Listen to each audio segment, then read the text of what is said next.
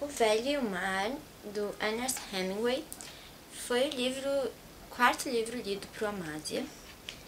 E ele é um livro bem é, não usual.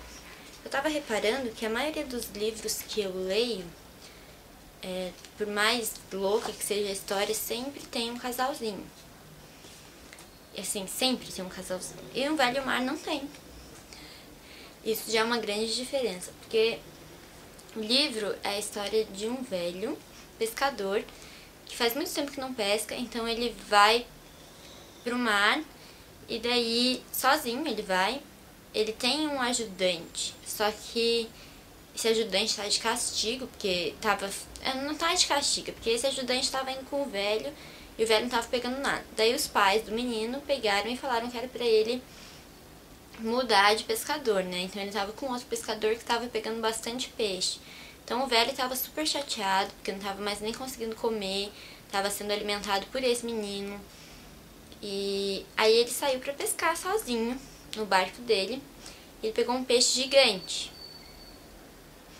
E daí a história é justamente sobre como ele vai matar esse peixe gigante, como ele vai levar esse peixe gigante e todas as coisas que acontecem no caminho. Assim. Então é uma história bem parada. Se você está procurando um livro dinâmico, não é recomendável.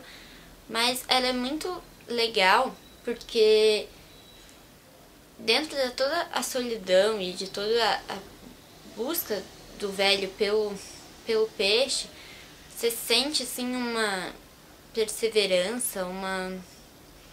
É, é bonita a história, sabe? Tem aquela liçãozinha de moral, assim, por fim.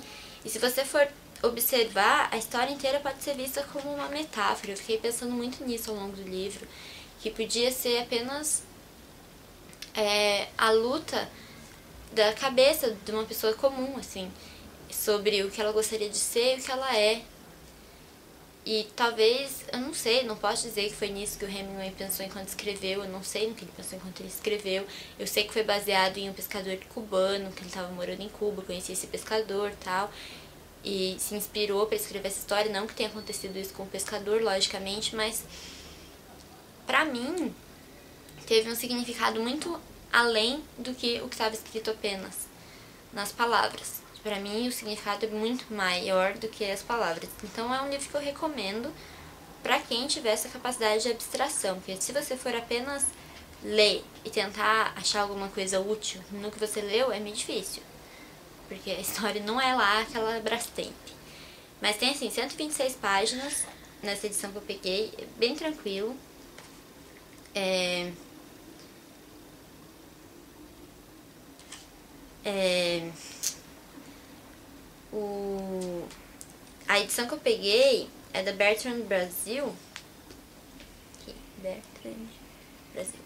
E ela tem vários desenhos ao longo da história tipo, páginas inteiras de desenho. Então a história acaba sendo mais curta ainda do que 126 páginas. Esses desenhos ajudam bastante você imaginar como é que foi a história. É, o Hemingway é um escritor americano muito importante para a literatura tanto do país quanto do mundo, né? E, assim, por mais que o livro não seja aquela Coca-Cola, tem. Eu não sei porque que eu falo aquela Coca-Cola, mas enfim. É, ele tem vários. Tem dois filmes sobre. Um que é com gente e um que é uma animaçãozinha, um curta. E esse curta vale muito a pena você ver, porque você lê o livro e, e tipo, conta o livro inteiro ali, bem rapidinho, é bonito. Então assim compensa pra você, depois que lê, assim, dar uma visualizada no negócio. Então, acho que é isso velho mar. Até a próxima.